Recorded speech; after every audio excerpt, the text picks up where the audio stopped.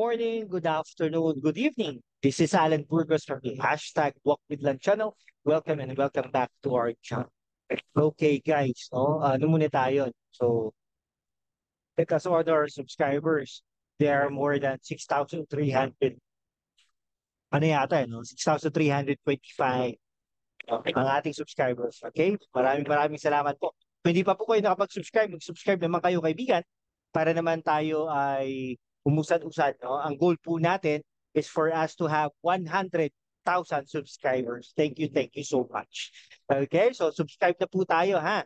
All right, ano po tayo guys, no? Um ang tala, uh, tatalakayin po natin tonight ay uh, yung ano po pahayag po ni dating senador Panfilo Lacson. Okay?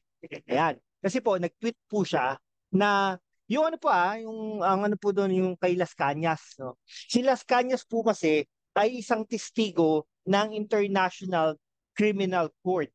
Okay? Na nagkaso, may kaso po kasi si dating Pangulong Duterte, si Sara Duterte, at saka si uh, Bato de la Rosa.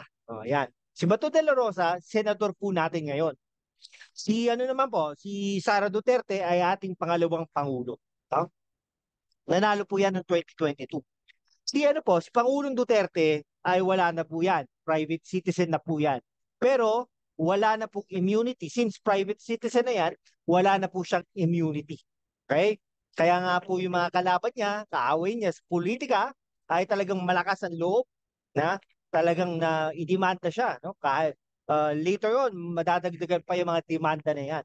Pero tingin ko, malulusutan, malulusutan naman yan ni Pangulong Duterte. Ito na po. Si, si Senator Panfilo Lacson ay nag-tweet. No? Ang sabi niya, uh, unless otherwise, may corroboration, no? Corrobor corroboration na mga testigo, no? Ang testigo daw na ito, si Las Cañas ay wala. Baliwala. Okay? Dahil nung panahon ng Senado, ito po ay atras sulong, sulong atras, atras abante na testigo ng Senado. Okay? Yun po ha, ah, yun po yung sinabi niya, no? Nirephrase ko na lang po. Pero more or less ganun po sinabi ni former Senator Lacson. Okay? So ganun po yun, no? Kasi po, da, anong mga panahon na yan, no? Nandun si Senator Panfilo Lacson, okay? Uh, yun, no? Pero si Senator Panfilo Lacson naman, independent yan. Pero perceived as uh, an ally of the administration. Ganun naman po talaga. Talagang inaalay, inaalay mo yung sarili mo, no? You are aligning, um, aligning, no? Aligning yourself to the majority para magkaroon ka ng project at saka magkaroon ka ng mag, maging relevant ka, no? Magkaroon ka ng relevance, no? Sa politika, kumbaga. Alright? So yun po yun. Okay? Now, ngayon, biglang, nung ano na, nagano po, repose, no? Si former Senator Trillanes. Kumbaga ito, itong dalawang ito ay dalawang dating PMAer, no? Dating sun, uh, sa serbisyo, no? Si uh, Panfilo Lacson, naging ano po yan, PC, Philippine Constabulary, and then naging PNP, naging Chief of PNP yan. Si, si ano naman po, si Trillanes, PMAer, naging Navy, pero hindi po natuloy ang karera dahil nag-aklas, nagrebelde. Ganun po ang difference. Bigla pong nag-repose. Ngayon, si former Senator Trillanes, sabi niya po, uh, basahin po natin ha, para, para ano lang po natin, no? Oh, ano, nawala na. Wait lang po ha. I-search ko lang para saktong-sakto ang makuha nating imp- impormasyon. Okay? Yan. Okay? Ito po yung ano ni Trillanes. Right? Yan, magdalo po to no, si Trillanes.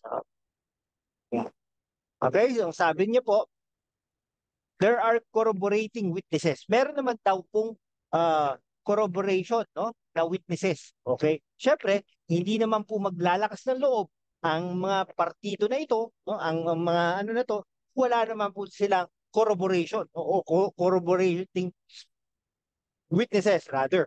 Okay?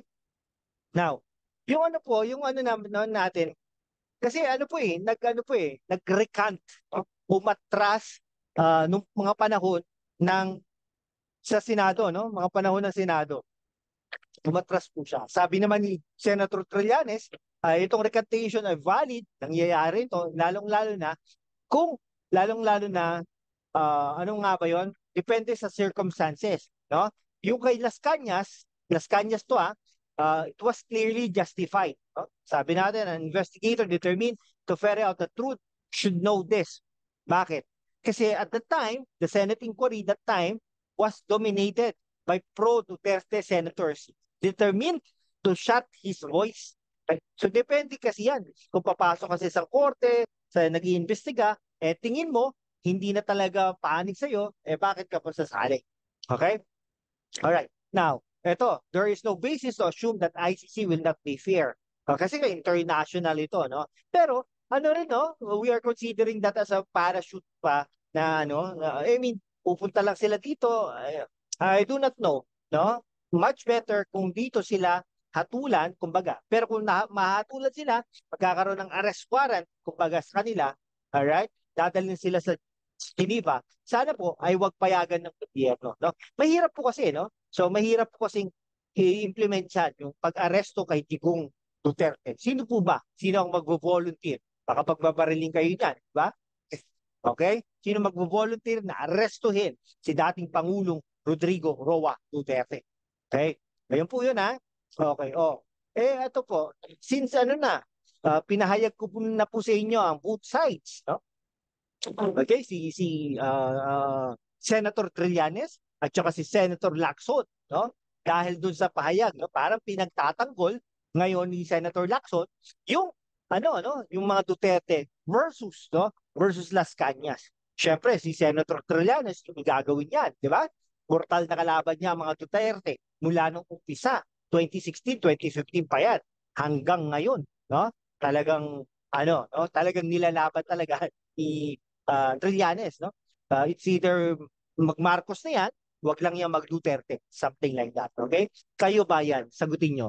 Trillanes o Lacson dito sa Las, uh, Las Cañas testimonies. Sige.